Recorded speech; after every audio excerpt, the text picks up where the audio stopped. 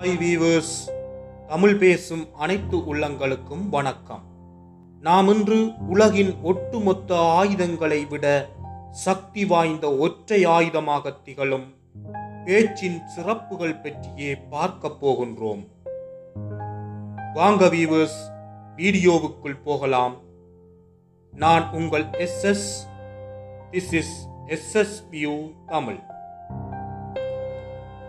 பேசுவது என்பது இறைவன் மனிதர்களாகிய எமக்கு கொடுத்த வரம்.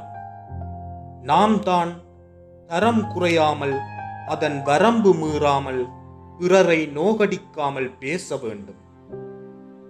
பேச்சினால் அன்பை பெறலாம் அரவணைக்கலாம் அதிர வைக்கலாம் அச்சப்படச் செய்யலாம் ஆத்திரமூட்டலாம் ஆட்சியை கூட மாற்றலாம்.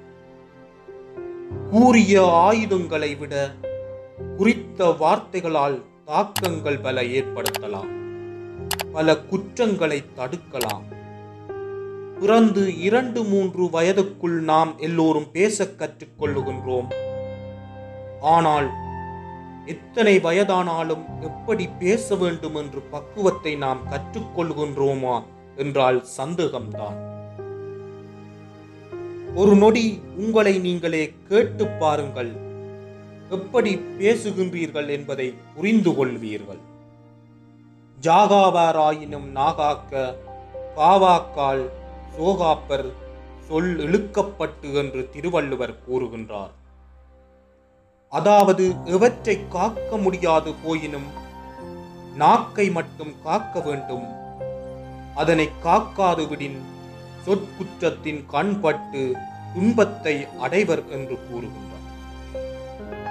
சிலரின் பேச்சு வியக்க வைக்கும் சிலரின் பேச்சு வியர்க்க வைக்கும் சிலரின் பேச்சு சிரிக்க வைக்கும் சிலரின் பேச்சு சிந்திக்க வைக்கும். ரோமாபுரியில் பிறந்த ஒரு சிறுவனுக்கு சொற்பொழிவு நிகழ்த்த வேண்டும். பலர் கூடியிருக்கும் கூட்டத்தில் மத்தியில் பேச வேண்டும் என்று ஆசை. ஆனால் அவனுக்கு திக்குவாய் பேச்சே வராதாம். வாயில் கூழாங்கற்களை போட்டு பேசி பழகுவானாம். அப்படி நாக்கை சுழற்சி பேசி பயிற்சி மேற்கொண்டவன்தான். பின் நாட்களில் ரோமாபுரியின் புகழ்மிக்க பேச்சாளனான டெமஸ்தனிஸ் ஆவார். பேச்சு இல்லாமல் எத்தனையோ பேர் தவம் இருக்கின்றார்கள். பேசத் தெரிந்த பலர் தேவையற்ற வீண் பேச்சுக்கு உரித்துடையவர்கள் ஆகின்றார்கள்.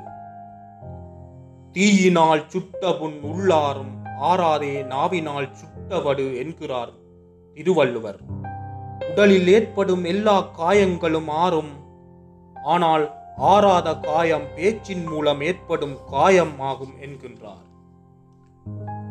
உண்ணும் உணவில் அறுசுவையை எதிர்பார்க்கும் எல்லோரும் பேசும் வார்த்தைகளில் சுவையிருக்க வேண்டும் என்பதை மறந்து விடுகின்றார்கள். சொல்லுக சொல்லை பிரிதோர் சொல் அச்சொல்லை வெல்லும் சொல் இன்மை அறிந்து.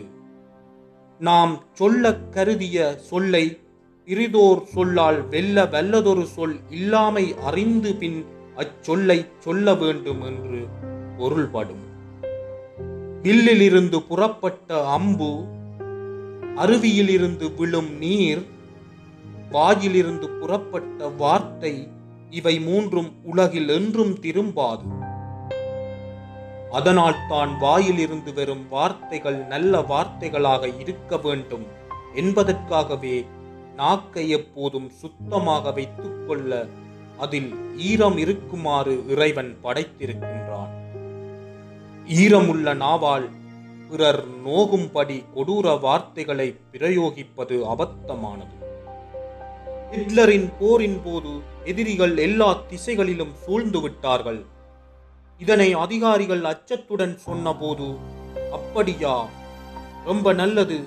அவர்களை எத்திசையில் வேண்டுமென்றாலும் நாம் தாக்கலாம் என்றாராம் ஹிட்லர்.